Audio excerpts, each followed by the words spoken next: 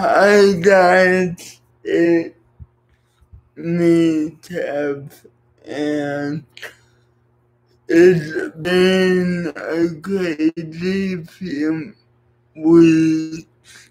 I had to go live with my brother for a while due to an emergency, but everything is okay. But now I'm back, and uh, my topic today is what is normal. Um, ever since I was little, um, with my disability, I have to drink through a straw. And sometimes I ask my mom if I could drink like a normal person. Um, and I didn't do it because I didn't feel normal. Um, it was just my view.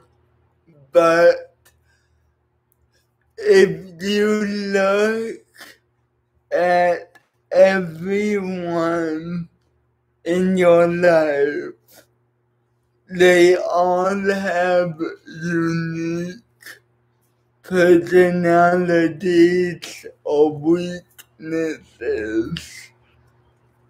And whether if they acknowledge them or not, it's the truth.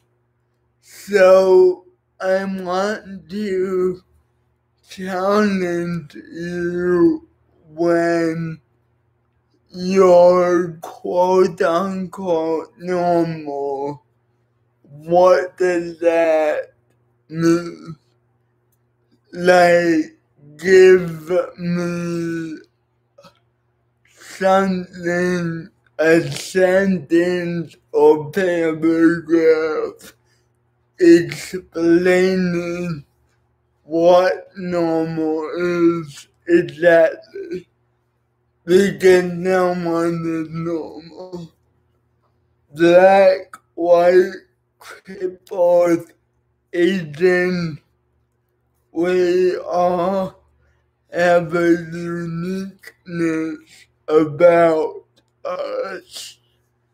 And sometimes I feel like society makes us feel ashamed or embarrassed by it.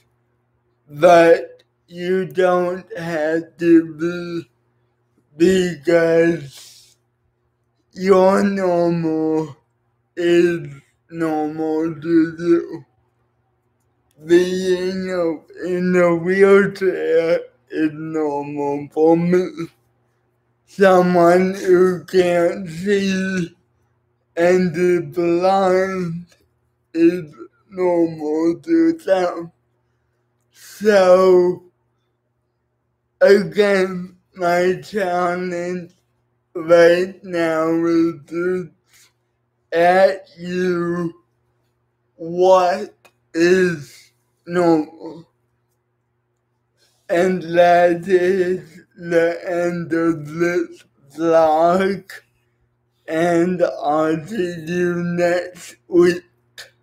Bye.